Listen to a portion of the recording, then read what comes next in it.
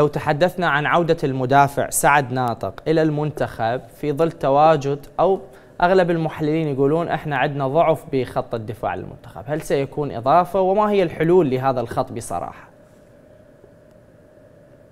لا هو أستاذ آه علي أحيانا لما بتكون عندك مشاكل دفاعية هي ما تخص فقط خط الدفاع وإنما الفريق كامل عندما يفقد الكرة شلون يدافع؟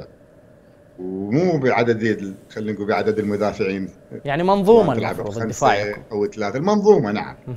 المنظومة. أنا يعني تنوع خلينا نقول طرق اللعب. يعني أقصد اختلاف يعني اللاعبين المدافعين بالميزات. هاي تخدم المدرب. يعني عندما يكون المدافعين كلهم متشابهين هاي تسبب مشكلة. فالتنوع يخدم المدرب.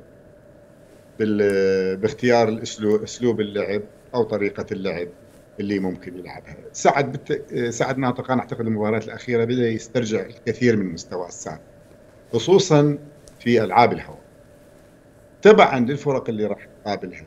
إحنا إذا نلاحظ الفريق الإمارات إذا اشترك تيغالي بالهجوم بالتالي ضروري أن يكون عندك لاعب.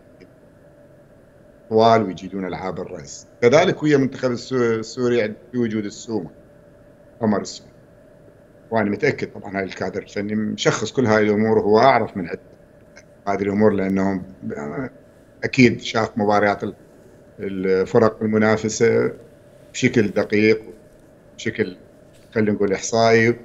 وهناك أيضا مقيم فني مع المنتخب.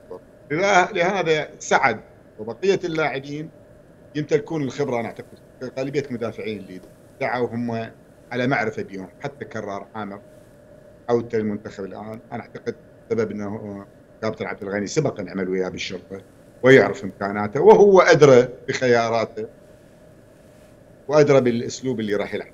طيب لو تحدثنا كابتن